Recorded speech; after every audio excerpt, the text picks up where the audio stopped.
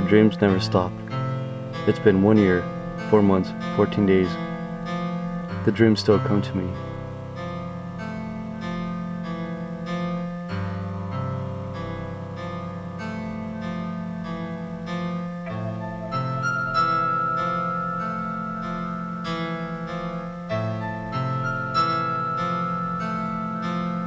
I remember everything from that day. I can still remember the sound her throat made as the sharp blade cut across her skin.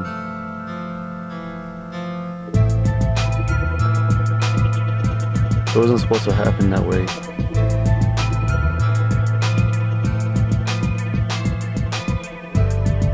I can still remember the way the sweat fell against my forehead as it dripped down. How long the way home seemed to be that day.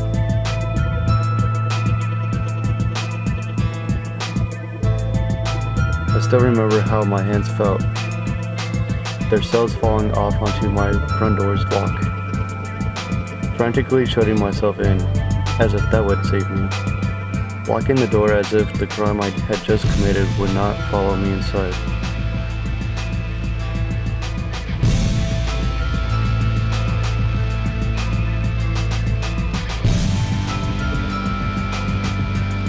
I remember how the alcohol tasted on my lips that day.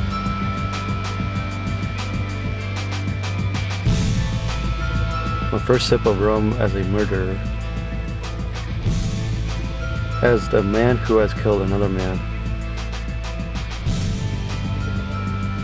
I can't shut my eyes without seeing the imprint of Karen's face on the black beneath my eyelids. It haunts me every day. I pray to God for the first time in 11 years to make it go away. This accident, it wasn't supposed to happen that way.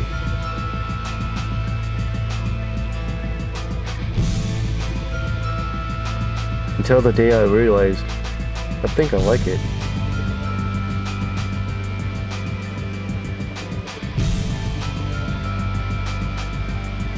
I almost prefer life this way.